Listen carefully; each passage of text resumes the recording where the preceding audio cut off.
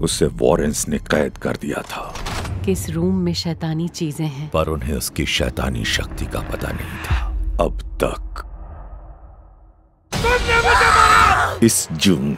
वो डॉल बुरी आत्माओं को अट्रैक्ट करती है। वो कॉन्जरिंग की दुनिया की हर शैतानी आत्मा को जगाएगी।